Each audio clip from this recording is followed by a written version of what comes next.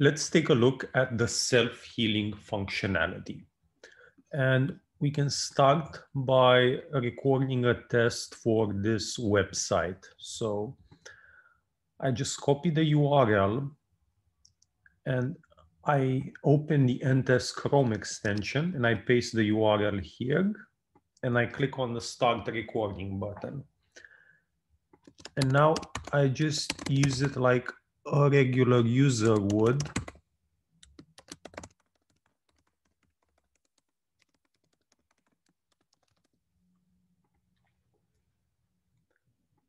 As you can see, the Chrome extension recorded the steps that I performed in the browser on that website.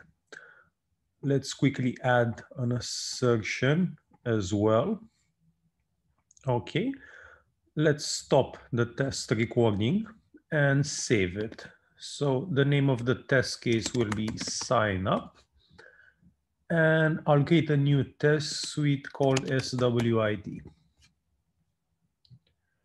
And now you can see it here. It's saved in my account in the cloud and I can access it. And I can see the steps here, the steps that we just recorded. And for example, let's take a look at this step, write text in last name.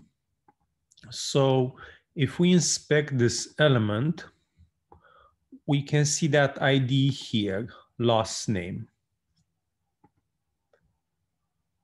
Okay. Now, because this is a, a sign up page, if we would use the exact same email, uh, that page would probably tell us that the email is already registered and we need to use a different email. So when testing a sign up page, you probably need to generate a new random email for each test execution. So let's do that. Let's add a new step here, generate random email, select the set variable action, give this variable a name, and provide the domain for that email. Okay, so instead of using this hard-coded value, I'll just use this email variable. Okay. Now, let's go to the test suite level and enable this setting, this machine learning setting. So what that does is as the test is going for the steps, it will look at each step and at each element, and it will store additional locators for each element. It will store up to 100 different ways of locating each element. So let's run this test so it will gather data.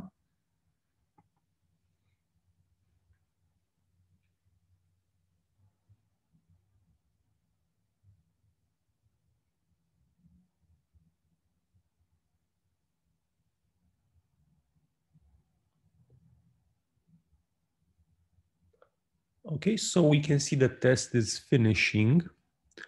Let's look at the logs. We can see that it generated a new random email and we can see that it went all the way to the end. And since we ran it with the machine learning option on, it means it stored a lot of information, a lot of additional information about each element.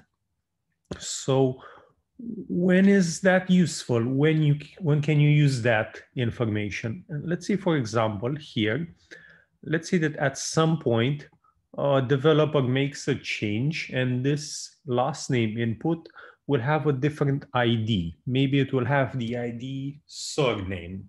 So let's try to do that for this page. And we can change the id of an element with some javascript so I will get this ID and here in the console, I can just do document get element by ID, last name, and then simply change it to surname. Okay, and now if we inspect that element, we can see that it has the ID surname. So the same JavaScript code that we executed here, let's add it in our test.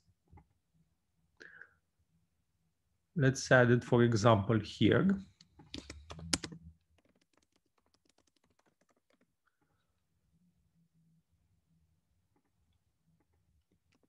Okay, so what this does is after we access that page, it will change the ID of the last name input. Let's run the test.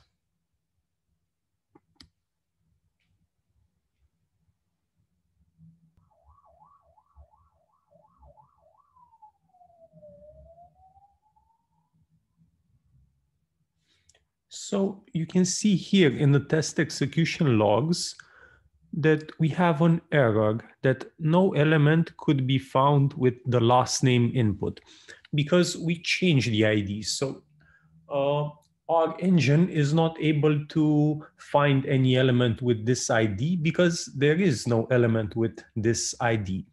So this is the type of scenario where you can use self-healing and let's use it right now. So let's go back to our test and let's enable the self-healing option. So what this does is when it encounters an error like that, it will look for all of the, let's say, uh, locators that it's stored and see if any of those locators can be used to identify that same element.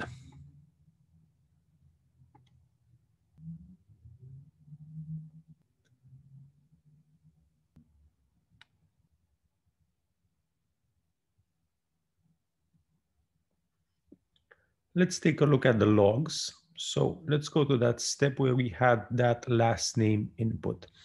And you can see here the output from the self-healing. It says no element could be located with that ID.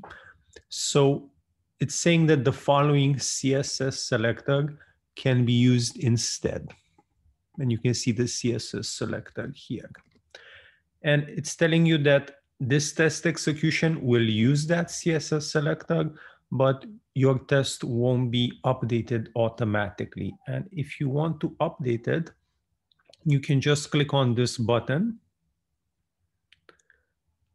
And instead of having this ID, you can just add this CSS selector that we have there. And that's it.